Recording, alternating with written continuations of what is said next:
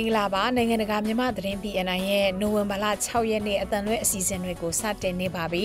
ဒီအစီအစဉ်ကတော့တိုင်းသားဒေသတွေတဲကသတင်းတွေတိုင်းသားတွေရဲ့အတန်နဲ့အမြင်တွေကိုစူးစီးတင်ဆက်ထားတာဖြစ်ပါတယ် PNN Radio အစီအစဉ်တွေကိုည9:55မိနစ်ကနေ9:00ခွဲအထိလိုင်းတူ22မီတာ73.82 MHz မှာထုတ်လွှင့်နေတာဖြစ်ပါတယ်ကျွန်မအာမီပါ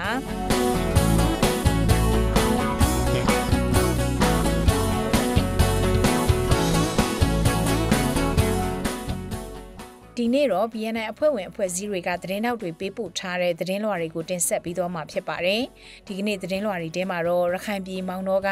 နခခငါထိုးစစ်အခြေအနေဘယ်လိုမျိုးရှိနေပါသလဲ။အနာဂတ် Federal Democracy နိုင်ငံတော်တည်ဆောက်နိုင်ဖို့ဘာကအရေးကြီးတယ်လို့ Green မျိုးသားတိုးတက်ရေးပါတီကပြောဆိုလိုက်ပါသလဲ။မိုးကုတ်မန္တလေးခီးသွားလာရေးအခြေအနေနဲ့ပတ်သက်တဲ့သတင်းပေးပို့ချက် မွန်ပြည်နယ်ထိုးစစ်အလားလာကဘယ်လိုမျိုးရှိနေတယ်လဲဆိုတာနဲ့မွန်ပြည်ကရဲတွေအနိုင်ကျင့်လက်စားမှုတွေကိုလူထုတွေဘလောက်အထိခံနေရတယ်လဲဆိုတာတွေကိုနားဆင်ရဖို့ရှိနေပါတယ်။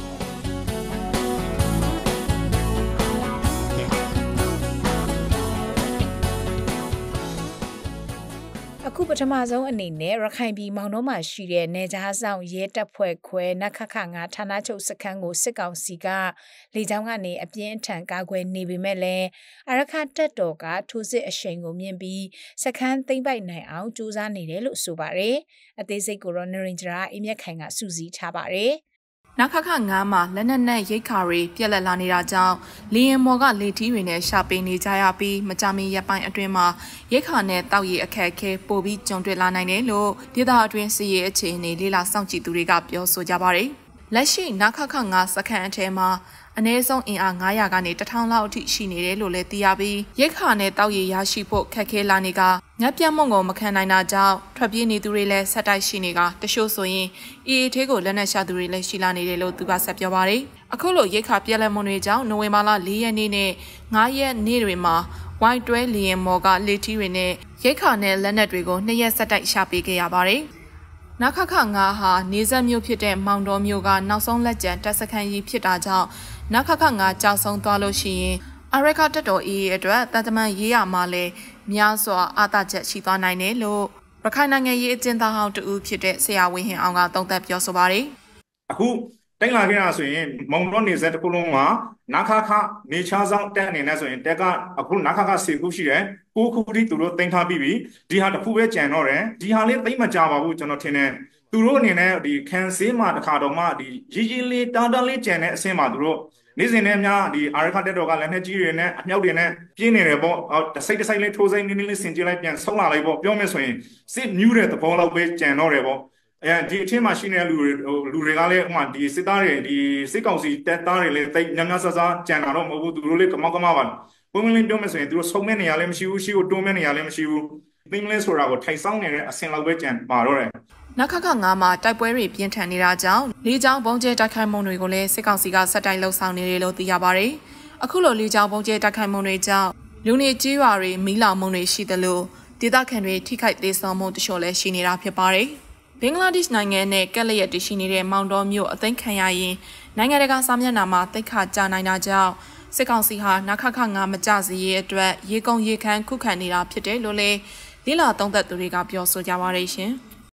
အနာဂတ်မှာ Federal Democracy ပြည်ထောင်စုနိုင်ငံတော်ကိုတည်ဆောက်ဖို့အတွက်လက်နက်ကင်တပ်ဖွဲ့တွေအကြားညီညွတ်မှုလိုအပ်တယ်လို့ကရင်နီမျိုးသားတိုးတက်ရေးပါတီ KNPP ကပြောလိုက်ပါတယ်။ကရင်နီပြည်မှာအခြေအနေတွေကဘယ်လိုမျိုးရှိနေပြီးလက်နက်ကင်အဖွဲ့အစည်းတွေဘယ်လောက်အထိရှိနေတယ်လဲဆိုတာကိုတော့ကနရဝတီ Time ကမော်လေးမြကစူးစီးထားပါတယ်။ဂရီနီမှာရှိတဲ့လက်နက်ကင်တပ်ဖွဲ့တွေချင်းချင်းကြားမှာညီညွတ်မှုနဲ့အနာဂတ် Federal Democracy ပြည်ထောင်စုနိုင်ငံတော်ကို တီဆောက်ကြဖို့လိုတယ်လို့ဂရီနီမျိုးသားတိုးတက်ရေးပါတီ KNPP အတွေ့အမှုတဦးအောင်ဆန်းမြေကပြောဆိုလိုက်ပါတယ်။နိုဝင်ဘာလ9ရက်နေ့မှာပြုလုပ်တဲ့အမျိုးသားညီညွတ်ရေးအစိုးရ NUG ကရင်မျိုးသားအစည်းအရုံး KNU ဂရီနီအမျိုးသားတိုးတက်ရေးပါတီ KNPP နဲ့ချင်းအမျိုးသားတပ်ဦး NCF တို့ကစစ်အာဏာရှင်စနစ်ချုပ်ငြိမ်းရေးနဲ့ Federal Democracy ပြည်ထောင်စုတည်ဆောက်ရေးအတွက်အတူတကွလက်တွဲတိုက်ပွဲဝင်နေကြတဲ့အဖွဲ့တွေရဲ့ဘုံသဘောထားရည်တည်ချက် နိုင်ငံရေးအရာပူးပေါင်းဆောင်ရွက်မှုတွေဖြစ်ပေါ်တိုးတက်မှုတွေနဲ့ပတ်သက်ပြီးပူးတွဲသတင်းစာရှင်းလင်းပွဲမှာမီဒီယာတွေရဲ့မေးမြန်းမှုကိုဖြေကြားခဲ့တာဖြစ်ပါတယ်။ပထမဆုံးကျွန်တော်တို့ပြောင်းလဲခြင်းနဲ့ Federal Democracy ပြည်အောင်စုနိုင်ငံတော်တစ်ကိုသွားတဲ့အခါမှာကျွန်တော်တို့ပထမဦးဆုံးကျွန်တော်ရှင်းလင်းရမှာကဒီအကြမ်းဖက်စစ်တပ်ချုပ်ငြိမ်ရေးပဲဖြစ်ပါတယ်စစ်တပ်ချုပ်ငြိမ်ရေးပဲအဲ့ဒီအတွက်ကျွန်တော်တို့ကြားထဲမှာအားလုံးကအတူတကွ ရှောက်လန်းကြဖို့တော့လိုပါတယ်လို့အဲ့ဒါလေးကိုကျွန်တော်ပြောချင်တယ်ဂရီနီပီကလူဦးရေ3သိန်းခက်တာရှိပေမဲ့2021ခုနှစ်အာဏာသိမ်းပြီးတဲ့နောက်ပေါ်ပေါက်လာတဲ့လက်နက်ကိုင်တပ်ဖွဲ့9ဖွဲ့ထက်မနည်းရှိလာပါတယ်။2021ခုနှစ်အာဏာမသိမ်းခင်မှာတော့လက်နက်ကိုင်တပ်ဖွဲ့9ဖွဲ့ထက်မနည်းရှိနေပြီးသားဖြစ်ပါတယ်။ပြီးခဲ့တဲ့အောက်တိုဘာ29ရက်နေ့2024ခုနှစ်မှာပဲ KN အမျိုးသားတပ်မတော် KNA ဖွဲ့စည်းလိုက်ကြောင်းကို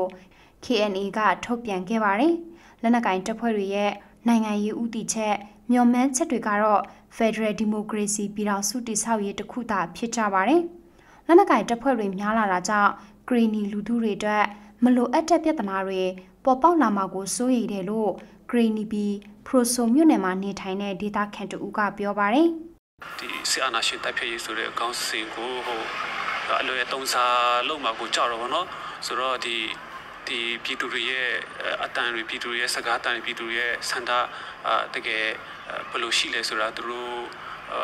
တကယ်ရောနားထောင်ပါမလားသူတို့ဖြစ်ချင်တာပဲသူတို့လောက်တော့မဲ့အဖွဲ့အစည်းမျိုးလားပေါ့ဆိုတော့လက်ရှိမှာပြည်သူတွေကလည်းဘေးကျနိုင်ကြဖြစ်နေတဲ့အချိန်ပါဟိုတခြားသောပြဿနာပေါ်လာပါဘူးလဲဟိုမလိုလားကြဘူးပေါ့နော်အဓိကဟိုဒါတွေကိုစိုးရိမ်တာတွေရှိပါတယ် ຫນွေဦးဒေါ်လာရင်းမှာဂရီနီပြည်တွင်းကလက်နက်ကင်တပ်ဖွဲ့တွေဟာစက်ကောင်စီကိုပူးပေါင်းတိုက်ခိုက်နေကြတာဖြစ်ပါတယ်။ပြည်တွင်းမှာကြက်ပြတ်စွာလက်နက်ကင်ဆောင်ထားခြင်းတွေကြောင့်ပုံကိုရေးအရနှစ်ဦးနှစ်ဖက်ပြဿနာတွေဖြစ်ပွားပြီးတနက်နဲ့ပြစ်ခတ်မှုဖြစ်စေတွေလည်း2024ခုနှစ်အတွင်းမှာရှိလာတာကြောင့်ဂရီနီလူထုတွေကြောက်လန့်ခဲ့ရပါတယ်။ မိုးကုတ်မန်လေးလမ်းလွဲကိုဒီနေ့အချိန်ထိပိတ်ဆို့ထားမှုတွေကြောင့်တခြားလမ်းလွဲတွေကိုအသုံးပြုပြီးသွာလာနေရလို့အခက်အခဲတွေဖြစ်နေကြပြီးကားခတွေလည်းဈေးတက်လာတယ်လို့ရင်မောင်းတွေနဲ့ခီးသည်တွေကပြောပါတယ်။ဒီအကြောင်းကိုတော့သတင်းနဲ့မီဒီယာကွန်ရက်သတင်းဌာနကကိုစောပွေးရတင်ဆက်ပေးထားပါတယ်။မန္တလေးတိုင်းမိုးကုတ်မန္တလေးလမ်းမကြီးကိုတိုက်ပွဲတွေကြောင့် ပြီးခဲ့တဲ့ဩဂုတ်လကတည်းကနေဒီနေ့ချိန်ထိနှစ်ဖက်တပ်တွေပိတ်ဆို့ထားတာဖြစ်တယ်လို့ရင်မောင်းတွေနဲ့ခီးသည်တွေကပြောပါတယ်လမ်းပိတ်ထားတဲ့ကာလတွေထဲစကိုင်းလမ်းလွဲကနေတွာလာခဲ့ရပြီးနွေမာလာ3ရက်နေ့မှာတော့အဲ့ဒီလမ်းကိုရက်အကက်အသတ်မရှိထက်မှန်ပိတ်ဆို့လိုက်ပါတယ်။လက်ရှိမှာမိုးကုတ်ကနေဆင်းလာတဲ့ကားတွေကရွှေဘိုလမ်းလွဲကနေတွာလာနေရပြီးအခက်အခဲတွေနဲ့ကြုံနေရတယ်လို့ရှင်မောင်တယောက်ကအခုလိုပြောပါတယ်။သုံးလမ်းဆိုတာလေဒီနေ့လမ်းအမှမြင်လာပြောရင်ဒီဘက်ကသွားရင်လည်းတစ်ခုပဲလောလောဆယ်ကြံတာလေ။ အဲ့ဒါကျွန်တော်ဒီနေမျိုးကနေလာတဲ့လမ်းကတော့လမ်းမြန်သွားလို့မရဆက်တန်းသွားလို့မရှိဘူး။အဲ့ဒီရှေ့ဘူးရှေ့ဘူးပြီးလို့ရှိရင်သူကရှေ့ဘူးကနေသူကကောလင်းလမ်းဆိုကောလင်းလမ်းဆိုကနေပါသူကကောလင်းလမ်းဆိုတော့မြစ်ကြီးနားကိုသွားလိုက်ရ။အဲ့မြစ်ကြီးနားသွားတဲ့လမ်းနေမှာတစ်ခါအောက်ကိုပြန်ဆင်းရတာအပေါ်ပြန်တက်ပြီးအဲ့ဒီနောက်ကိုပြန်ဆင်းလာတာဆိုတော့အဲ့ဒီလမ်းတစ်လမ်းလေးလောလောရှိတာပါ။လက်ရှိအသုံးပြုနေရတဲ့ရွှေဘိုလမ်းလွဲမှာက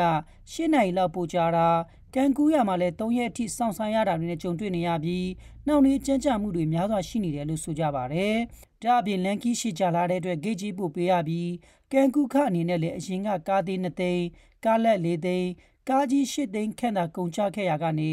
လက်ရှိလန်မိုင်းကတာစိတ်ကမ်းမှာတော့ကားသေး4သိန်းကားလက်6သိန်းကားကြီး12သိန်းအထိပေးနေရပြီးနှစ်ဆနီးပါးပို့ကုန်ကျတယ်လို့မိုးကုတ်ကဝင်မဲ့ရင်မောင်းတယောက်ကဆက်ပြောပါတယ်။ ဟောပစ္စည်းတွေကိုအခွန်ကောက်တာတိုးလာတဲ့လက်ရှိရလေရွှေဘူဘက်လင်မှာရှိတဲ့တော်နိုင်တိတ်တွေသူတို့အခွန်တွေကောက်ဟုတ်ကဲ့အဲဆိုတော့အဲပစ္စည်းတွေတော့ဒီအဖာတစ်ပေါဘလောက်ကိုကုန်းဖာတစ်ပေါဘလောက်ပစ္စည်းတွေကိုဘလောက်ဆိုတော့ဒီအခွန်ထက်တိုးကောက်တာရှိနောက်တစ်ခုကကြတော့ဟိုအပေါ်လမ်းသွားတာရှိတယ်ကျွန်တော်စာထဲမှာရေးထားလို့ဒီအဲမမြင်အောင်ပြောရရင်မန္တလေးကနေပြီးတော့မြစ်ချင်းလမ်းကိုသွားတယ်ဟိုကတာနာရောက်ခဏီမှာဒီအရာတွေကိုပြန်ကူးပြီးတော့လေ ဘမောလမ်းကိုပြန်ယူပြီးတော့မှနောက်ပြန်ဆုတ်လာပြီးတော့နောက်ပြန်ဆုတ်လာပြီးတော့မှမုံမိတ်ကိုပြန်ဝင်ရတာဆိုတော့အဲ့ဒီမြစ်ကူးတဲ့ group ကတော်တော်ကြီးတယ်ပါသိကြီးတယ်အဲ့နော်စကိုင်းလန်းလွဲကနေတွားနေကြတဲ့ရေလန်းတွေကကုန်ကျစရိတ်ပိုများလာတဲ့အတွက်ကားခတွေလည်းဈေးတက်လာပြီးအရင်ကနောက်ခန်း2သိန်းရွှေကန်3သိန်းအန်စာတုံး3သိန်းခွဲလောက်ပဲကုန်ကျခဲ့ရကနေခုတော့နောက်ခန်း3သိန်းခွဲရွှေကန်4သိန်းခွဲအန်စာတုံး2သိန်းခွဲအထိဈေးတက်လာတယ်လို့ဆိုကြပါတ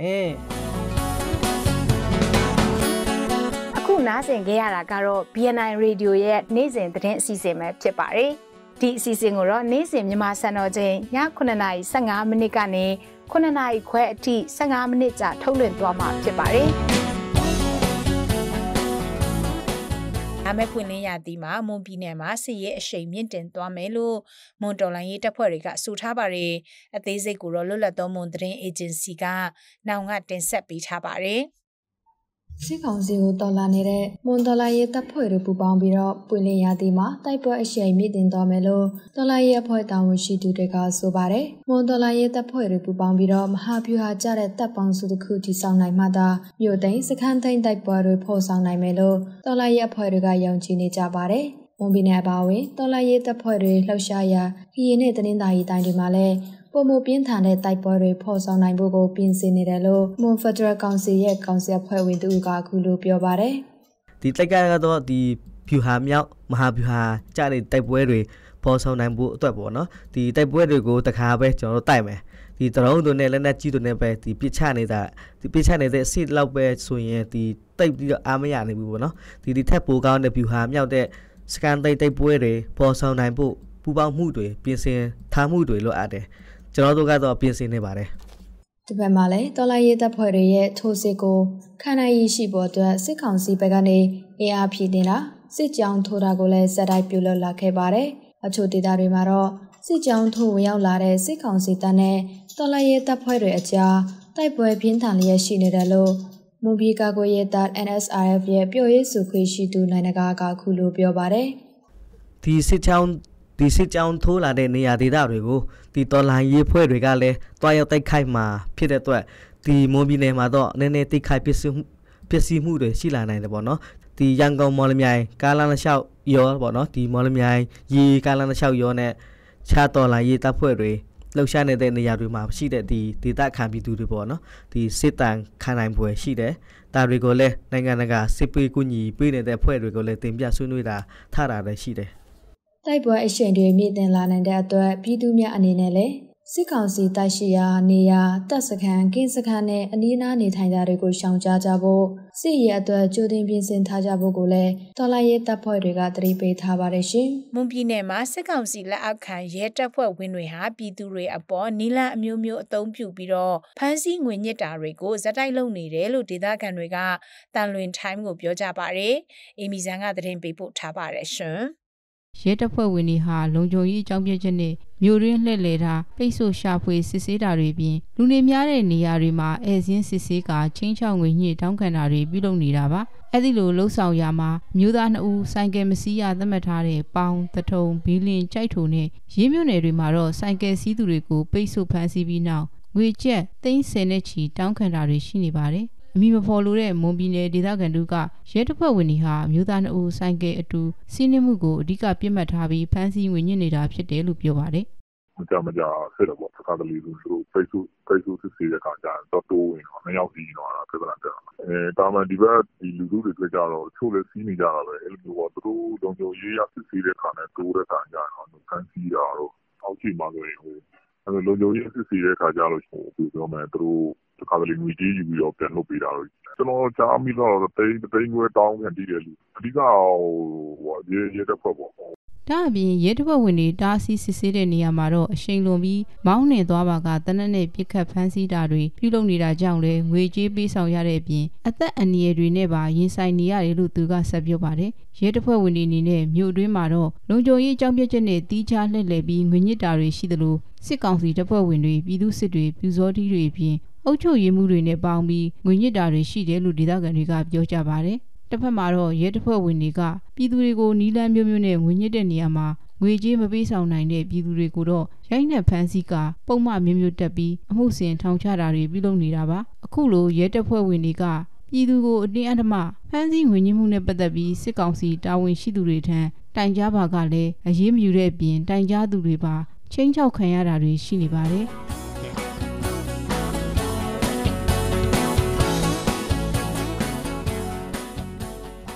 အခုနားဆင်ကြရတာကတော့ BNI Radio ရဲ့နေ့စဉ်သတင်းအစီအစဉ်ပဲဖြစ်ပါတယ်။ဒီအစီအစဉ်ကိုတော့နေ့စဉ်မြန်မာစံတော်ချိန်ည9:15မိနစ်ကနေ9:00ခွဲအထိ15မိနစ်ကြာထုတ်လွှင့်သွားမှာဖြစ်ပါတယ်။နားဆင်ပေးကြတဲ့အတွက်ကျေးဇူးတင်ပါတယ်ရှင်။